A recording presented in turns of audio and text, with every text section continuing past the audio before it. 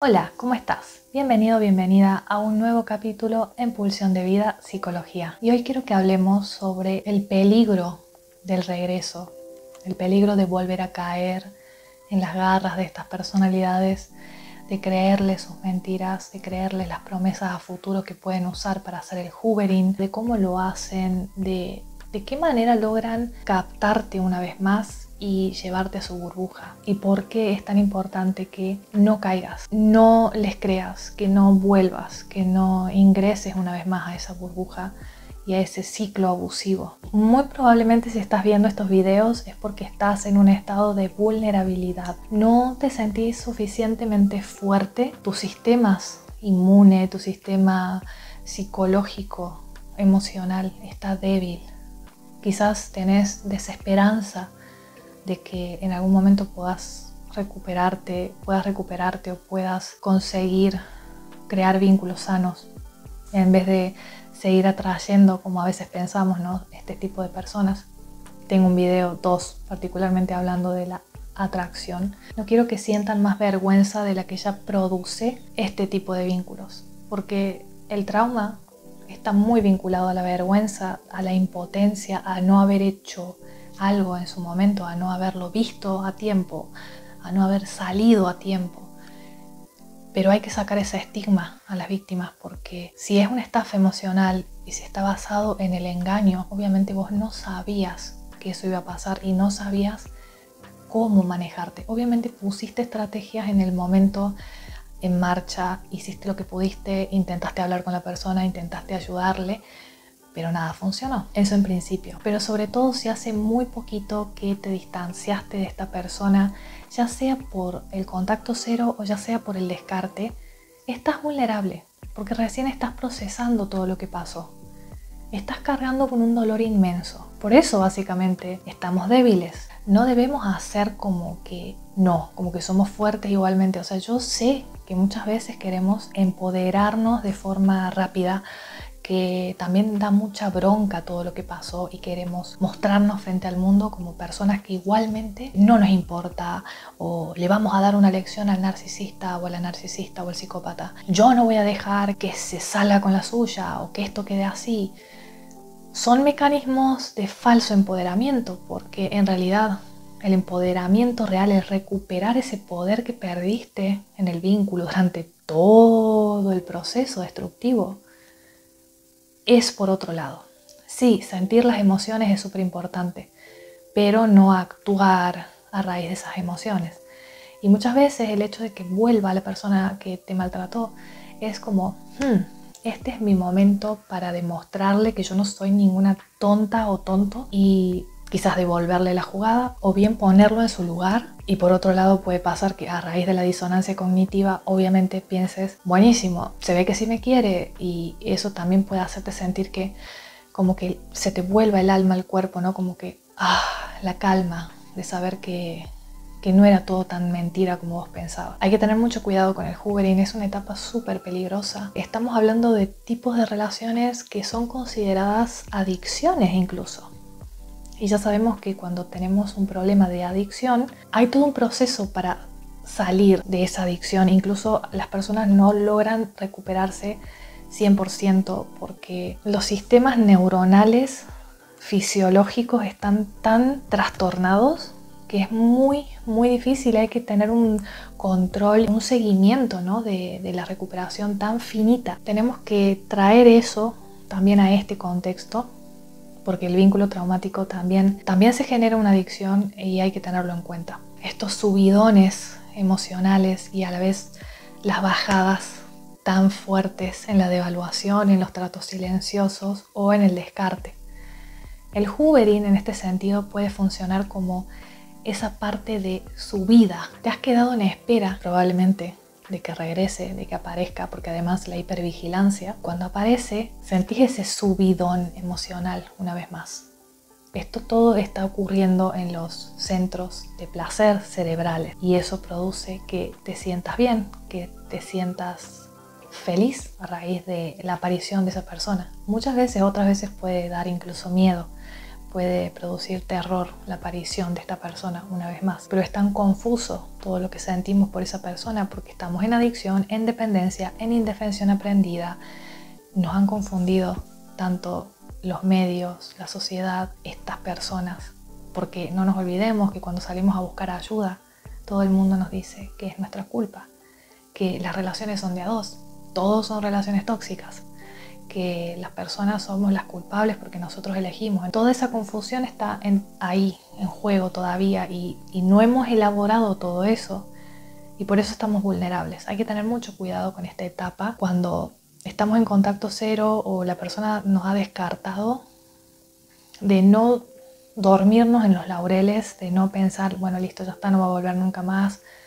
Porque en el momento en que aparezca, incluso cuando vos pensás que estás fuerte y pensás que que no te va a pasar nada, no lo sabes realmente. En el momento en que aparece es un estímulo que vos no sabes realmente cuáles de todas las confusiones que tenés en tu mente y, emocionalmente también estamos muy trastornados. No sabes cómo vas a reaccionar a eso, no sabes tampoco con qué te puedes salir, con qué promesa falsa, con qué discurso, con no lo sabes. Entonces tengamos mucho cuidado con eso. ¿Cuáles son los principales motivos de la persona narcisista o psicópata para hacerte el hoovering? Uno es por combustible. Ya sabemos que ellos viven de sacarte las reacciones emocionales y sentirse poderosos o poderosas porque logran captar tu atención y logran sacar una emoción de vos. Y si son negativas, mucho mejor. Quizás se ha cansado de las otras personas que le rodean y saben que sos una mejor fuente de combustible, entonces regresan a buscarte. También puede regresar porque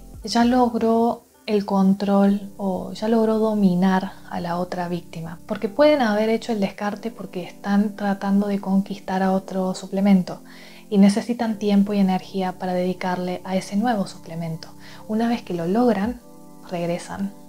Porque nosotros no somos libres, no somos seres libres, personas con derechos, con seres sintientes, sino que somos objetos. Ellos nos eh, mentalmente nos guardan en un mueble y luego nos van a buscar. Pero también puede regresar para reafirmarse a sí mismo el poder que tiene sobre vos y el control. Es una forma de sentirse poderosos, de empoderarse incluso si ha vivido una situación que le ha hecho sentir como mal, le ha, hecho, le, ha tocado el ego, le ha sacado su ira narcisista, otra de las razones por las cuales pueden hacer el hoovering y volver a buscarte es por recursos, dinero, casa, eh, contactos sociales, incluso para presumir, porque a veces nos usan como adornos si sos una persona que tiene una carrera o que es linda persona, ¿no? Seas hombre o mujer, pueden usarnos como un complemento que a ellos les da cierto nivel o cierta imagen social. Eh, esto puede pasar incluso en el, en el, mundo de las celebrities, ¿no? Esto de usar a alguien porque tiene fama, porque tiene plata, porque es muy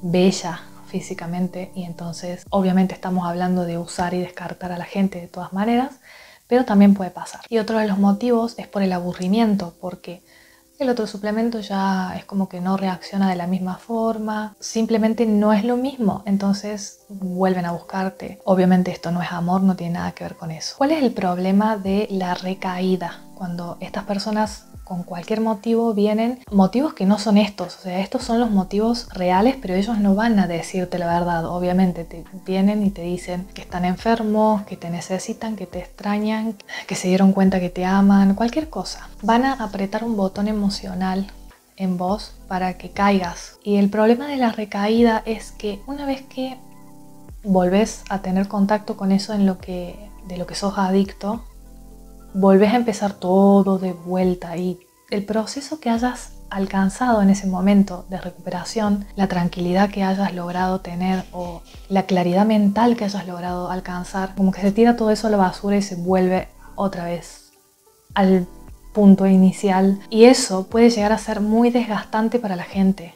Por eso es muy peligroso ir y volver, ir y volver, porque al final, si estuviste un año sin esa persona y después volviste, todo lo que pudiste lograr en ese año, chao, tirado a la basura. Y cuando digo que todo vuelve a empezar, es que vas a volver a sentir una dependencia fuertísima de esa persona, vas a volver a confundirte, sobre todo eso, la confusión va a reforzarse más, porque ahora tenés un nuevo elemento, el hecho de, de las mentiras que te ha traído en este hoovering nuevo las integras en todo el proceso y ahora tenés otro problema más porque tenés que entender por qué ahora volvió si me descartó o por qué si se fue con otra persona ahora volvió y, y estás nuevamente con toda tu energía puesta en eso, cuando quizás ya, ya, habías avanzado un poco. Este tipo de relaciones son como una adicción. Cuando alguien está recuperándose de una adicción a alguna sustancia, un contacto mínimo con ese elemento puede hacer que regrese completamente. No es que va, no sé, va a fumar un cigarrillo y, y va a fumar todos los días un cigarrillo, no va a volver a fumar quizás dos cajas de cigarrillo como lo hacía antes. Otra cosa que tenés que entender es que el trauma es un evento o varios eventos que significan un antes y un después en la vida de la persona que lo está viviendo. Es un efecto, es el resultado de esos eventos que son perjudiciales para tu vida, ¿no? En este caso, el estar relacionado con una persona que es incoherente, que no tiene las intenciones que dice tener y que está usándote, sobre todo el efecto de rebajarte a una cosa cuando sos una persona, cuando sos un ser sintiente, no nos damos cuenta del todo, pero tiene un efecto terrible en la psiquis de la persona. El trauma o este conjunto de eventos, esta situación con esta persona, no se olvida, no es algo que uno pasa página, que ya ah, dejando de hablar o haciendo de cuenta como que no pasó, tratando de no tocar el tema, se puede superar. De hecho, terapeutas que quieren trabajar algo traumático de esta manera están perjudicando a su paciente, están haciendo que sea más difícil todavía la recuperación, que sea más complicado porque en algún momento va a tener que atravesar el trauma y entre más tiempo pase, más se alargan las consecuencias psicoemocionales, más se prolongan, más se cronifican. Esto se elabora con mucho trabajo y mucha paciencia. Y es por eso que siempre hablamos del contacto cero y de planificarlo y de cerrar las puertas y tratar de que no nos contaminemos, no nos sigamos contaminando de información, porque ya tenemos demasiada información contaminada que elaborar. Hagan de cuenta que tenemos una caja enorme con toda la cantidad de años que hemos estado con esa persona, con todas las situaciones que hemos vivido, con toda la confusión, todo el dolor. No podemos seguir integrando nueva información sobre lo que los monos voladores nos dicen, sobre lo que vemos en las redes sociales o con los nuevos hoverings de estas personas. Y por eso hay que enfocarse muchísimo en la recuperación y en recuperar la fortaleza interna. ¿Por qué? Como se trata de una adicción, no hay una cura de por sí, como te decía. De hecho, no hay como algo que diga, este es el tratamiento para las adicciones y para siempre se cura. No, es como que es algo que todavía se está trabajando, ¿no? Y no es como un resfriado que te curas y ya está, no estás más resfriado. En este caso estamos hablando de algo mucho más complejo que siempre vamos a tener que estar revisando y, cuidando ¿no? y sosteniendo el contacto cero y seguir trabajando en nuestra fortaleza, en nuestro desarrollo personal, seguir trabajando el trauma. ¿no? Otro punto importante es entender que la persona narcisista o psicópata busca el control total. Cuando la persona te descarta no hay un motivo que uno pueda decir lógico dentro de los lentes empáticos. Lo hace también como manera de devaluación, lo hace para hacerte sentir mal, para hacerte sentir peor de que todas las veces que te ha hecho sentir mal. Es como un único golpe que puede realmente destruirte, terminar de destruirte. Descarta para quitarte valor y regresan para reafirmarse que ellos tienen el poder completo sobre vos, que tienen el control completo sobre vos. ¿Y qué es lo que pasa cuando regresas con él o con ella? El ciclo, que ya lo hablé en otro video, se reactiva, vuelve a empezar. El bombardeo de amor, idealización de evaluación y descarte y hoovering. Y eso es un ciclo, eso vuelve a empezar. El problema más grave de todo esto es que en cada regreso, cada vez que esta persona se va y vuelve, y vos ingresás una vez más a la burbuja, la violencia crece progresivamente y la etapa dorada, digamos, el bombardeo de amor, la idealización, dura menos. Puede usar tácticas incluso como el victimismo, decirte cosas como, sí, me di cuenta que fui mala persona con vos, que no me comporté de la mejor manera, pero voy a cambiar, voy a ir a terapia o ya me di cuenta que, que eso estaba mal, no lo voy a volver a hacer. Y siempre ponen excusas. Dicen, sí, me di cuenta que hice esto, el otro, pero es que el mundo, vos, mi mamá, lo que sea, siempre tiene ese as bajo la manga de decir, es que yo tuve traumas en la infancia, es que la televisión me ha hecho muy agresivo. Siempre tienen una excusa, nunca van a reconocer que cometieron un error, más allá de todas las explicaciones que podamos dar a un error que hemos cometido. El tema es que la disculpa real, cuando alguien realmente está arrepentido de lo que hizo, cambia, intenta mejorar, porque el darse cuenta que, y, arrepentirse de algo implica que hayas hecho un análisis de esa conducta tuya, que te hayas visto al espejo y que te hayas dado cuenta que no estuvo bien eso que hiciste.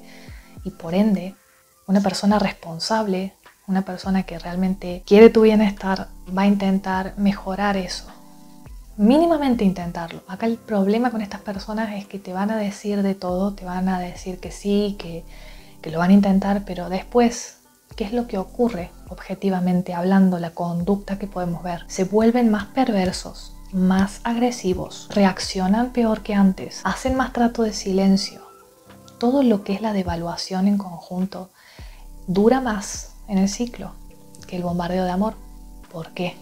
Porque ellos ya te han casado antes, ellos ya han hecho todo ese proceso de encantamiento y de hipnosis, ya saben que estás adicto o adicta, ya saben que estás dependiente, ya saben que estás solo en el mundo porque ya te alejaron de todo el mundo. Saben que tienen el camino fácil con vos. Y esa es una de las razones por las cuales también siempre están volviendo con los ex y todo eso. También pueden usar esto de la trampa del falso futuro y decirte que esta vez sí van a blanquear la relación porque, bueno, antes te tenían media escondida o escondido. O incluso lo del efecto espejo. Una vez más, esto de me di cuenta que somos el uno para el otro y al final la otra persona no era así, así que ahora vuelvo con vos, como si nada hubiera pasado. Y todo esto, que es un nuevo bombardeo de amor, está pasando incluso antes que regreses. Por eso es que hay que tener mucho cuidado, porque cuando ya le, le damos ese espacio para que ellos empiecen a alargar toda esta catarata de mentiras, ya estamos como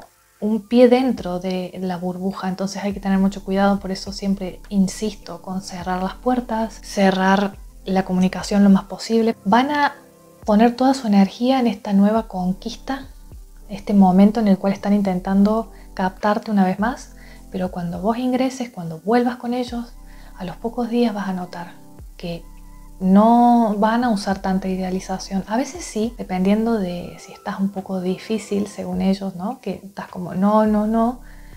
Pero ya le estás dando lugar a que te digan y te insistan y te hablen. Y todo eso es, como te digo, estar un pie ahí como pronto a ingresar una vez más a la burbuja. Hay que tener cuidado con eso. Generalmente pasa que cuando volvés ya no se van a preocupar por caerte bien, no se van a preocupar por mentirte incluso. Recuerda que son personas que ahorran energía. Ellos saben que estás en ese vínculo traumático con ellos, que te tienen ahí, en la palma de su mano. No van a gastar energía cayéndote bien, haciéndote regalos, tratándote como te mereces que te traten, aunque sea falso, porque ya saben que estás enganchado o enganchada. La devaluación, que es la segunda etapa, aparece mucho más rápido en este regreso y la etapa de idealización casi inexistente. Los buenos tratos no aparecen casi, o hay muy pocos o muy neutrales, pero no, no van a intentar esa parte positiva del vínculo, sino que va a aparecer mucho más el maltrato. Y la violencia va a ser cada vez más grave, que toda forma de violencia es grave, desde luego, pero me refiero que va a ser más explícita, más física incluso, más directa. Él o la agresora o agresor se vuelve más frío, se vuelve más calculador, más descarado. Ya las cosas te las, te las hace en la cara y no le importa. Se ríe de vos en tu cara. Se vuelve más perverso, más burlesco. Te, hace bromas, ya directamente te insulta. Eh, se ríe de vos. Se ríe pero directamente. Aplica más el tratamiento de silencio para castigarte y hace incluso cosas inmorales en tu cara. Como la máscara ya se cayó antes, porque ya pudiste ver esa parte de, evaluación en la etapa anterior, antes de que se fuera o que le pusieras el contacto cero. En este momento ya no se preocupan por el personaje tanto, pero sí se van a preocupar por el personaje de cara al público externo, de cara a la gente, el resto. La propaganda pública, así que va a ser como más reforzada en esta etapa. Esto quiere decir que la campaña de difamación esta vez va a ser terrible, va a ser una de las herramientas principales para terminar de destruir tu persona pública, de terminar de destruir tu imagen pública. Y esto de la mano con lo que decíamos anteriormente, va a acumular pruebas de que estás loco o loca o enferma o sos vos quien está haciendo todo lo que esa persona te está haciendo. Por eso digo, se va a volver más descarado, más burlesco, más de frente, te va, te va a decir de todo, te va a hacer de todo ya sin ningún miramiento, ya no va a ser como el principio que quizás era más encubierto, más sutil, más entre líneas, sino que ahora es directamente, ¿para qué? Para que reacciones y ellos tener pruebas de esas reacciones desmesuradas o sacadas de contexto mostrárselas a otros, ya sea por mensaje, porque puede haber una conversación, o incluso eh, tratar de provocarte estando frente a esas personas, con tu familia, con amigos. Por eso triangulan mucho más, dejan ahí mensajes con otras personas, mensajes extraños, o directamente coqueteando con otras personas, o hablando mal de vos con tu gente, o con su gente, o con otros que ni conoces. Todo esto es una técnica perversa que tiene su base en el gaslighting, porque lo que quieren es que te termines de sentir totalmente enfermo, que no estás en tus cabales. E incluso muchos llegan al punto de hablar con otros profesionales de la salud mental y decirle tiene un problema mental y medicar a la víctima y lograr el control a través de la medicación. Yo les recomiendo la película Gaslighting. Ahí está clarísimo todo esto. Y algunos dirán, pero ¿por qué alguien haría algo así? Porque quieren el control total del ser y del cuerpo de sus víctimas. Sé que esto puede sonar como muy grave, muy exagerado quizás para algunos que no han visto otros videos del tema, que no están muy metidos en la problemática, pero créanme que es más grave de lo que uno piensa. No se trata solamente de una relación que salió mal. Por favor, resistí el juberín.